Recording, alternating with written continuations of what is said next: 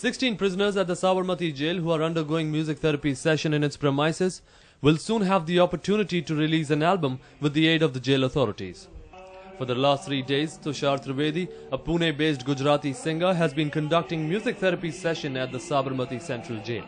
The exercise is expected to pave way for the prisoners to showcase their singing talent to the world. Music is said to help in areas of emotional expression, social behavior, stress and anger management, and even fitness. It both heals and inspires.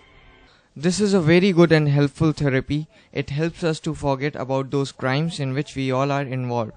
And it inspires us to move towards a peaceful path and to do something in our lives in coming future. And the effort of the jail officers are really appreciable. 16 inmates convicted of murder and rape are taking part and have already belted out evergreen Bollywood numbers during a program organized here. Trivedi had earlier conducted similar training sessions in the jails of Maharashtra, Rajasthan and Madhya Pradesh and is now planning to introduce the same in three other central jails soon. A part of the revenue will go towards the Prisoner Welfare Fund.